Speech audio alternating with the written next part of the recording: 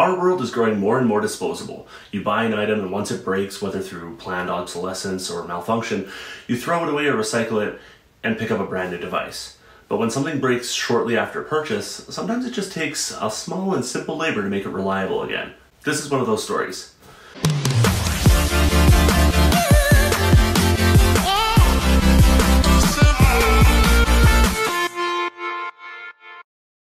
Hey everyone, today I'm documenting an interesting project I did recently. I came to acquire an office printer which someone had broken within a few weeks of purchase. They tripped over the USB cord and the port broke. Although they could use the printer over Wi-Fi, it doesn't scan if it's not connected to a computer, and sometimes Wi-Fi printing can be unreliable. So they replaced the printer, and they were looking to see if someone wanted it before they recycled it. Because an official repair would cost a lot more than replacing the printer. Especially for something as simple as a port replacement, I'm happy to try to repair it myself. The first thing I needed to do was make sure I could reach the port. So I took off the side panel, which is held in place just by one screw and two clasps, and had a look. The main board is super accessible, so I started labeling the cables and removing them. After that, I removed the main board itself. This just took a few screws and the removal of a secondary chip. Nothing was abnormal about the port or the motherboard, so I knew that I could do the replacement. The USB ports that printers use are pretty universal and don't require anything proprietary, so it was easy to find a bundle of 10 replacement ports on Amazon for about $13.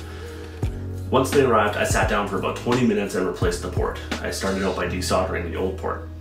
Desoldering is the hardest part of a basic soldering job for me. It's the most technique heavy part and there are a lot of different tools that can help different desoldering situations. I don't have a lot of options in my arsenal right now. A port like this benefits from a heat gun and heat resistant tape, but I don't have that. So after I desolderized the stabilizer pins, when it came to the four data pins on the bottom, I ended up adding more solder first to connect the four pins together so that when I would heat one pin up, the heat spread to all four of them and I could wiggle them out all at once. After the report was removed, I heated up each hole and used a basic solder sucker to clean them out so I could insert the new port into the holes. Then it was just a quick task of putting the new port in place and soldering in the pins. I started with the stabilizers and then I did the data pins to make sure everything was snugly in place. After that, it was just a quick reassembly and a test and everything worked brilliantly.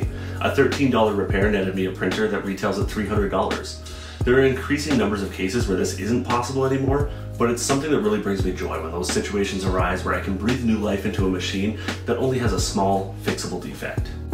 Thanks for watching. I hope this video was interesting, and if it inspires you to look at these situations and tackle them yourself, that's even better. If you're also a tinkerer, comment below if you have any stories about similar repairs that you've done. In the meantime, if you liked the video, hit like and subscribe for more tech tips and repairs.